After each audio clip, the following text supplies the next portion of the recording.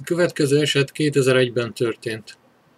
Az egyik nap úgy gondoltuk a haverokkal, hogy kirúgunk a hámból, és elmegyünk egy kicsit iszogatni. Nem is volt gond egy szál se, a kocsmában boroskóláztunk, és elég jól éreztük magunkat. Aztán befutottak a többiek is, és hívtak minket, hogy menjünk velük diszkóba. Én először mondtam, hogy nem megyek, de végül sikerült rábeszélniük.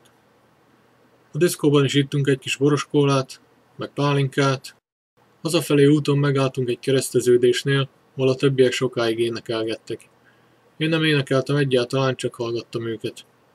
Ekkor jött egy rendőrkocsi. Mikor észrevették a többiek, azonnal elindultunk, hogy akkor most vége a bulinak, mindenki megy hazafelé. De a dolog nem ment olyan egyszerűen. A rendőrkocsi megállt mellettünk, és kiszállt belőle két járőr. Van valamelyiküknél személyigazolvány? kérdezte az egyik. Természetesen parancsoljon. Nyújtottam neki oda a személyemet. Erre nagyon csúnyan nézett rám, majd a kocsihoz fordult.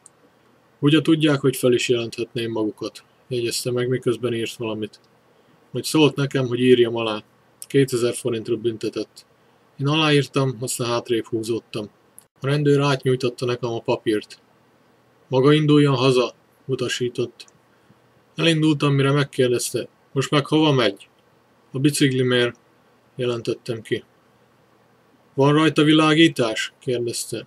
Nincs, de azért már megbüntettek a múltkor, válaszoltam. Jó van, akkor csak tolja hazáig, szólt még utoljára. A haverok később utolértek és megpróbáltak vigasztalni. Mikor másnap meglátogattam őket, ők azt mondták, hogy őket nem is büntették meg a rendőrök, csak engem.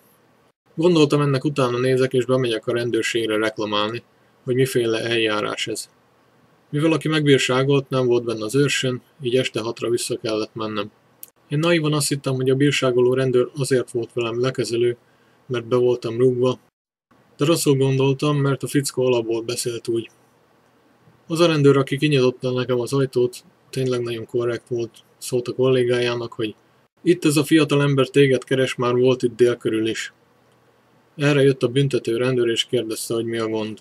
Ezzel a papírral lenne itt problémám, kezdtem, hogy engem csendháborításért megbüntettek, de csak egyedül engem, pedig többen voltunk, pedig én nem is énekeltem, és...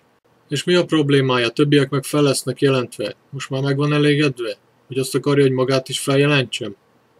De miért? Én nem csináltam semmit, válaszoltam. Erre hallgatott.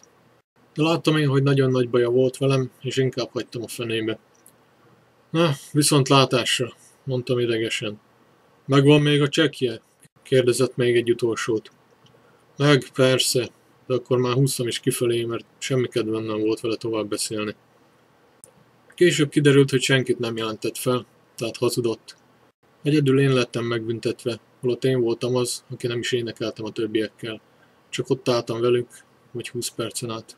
E-mailt is írtam egy magasabb rangú rendőrnek, és megkérdeztem, hogy ilyenkor mit lehet tenni. Ő azt javasolta, hogy menjek bíróságra.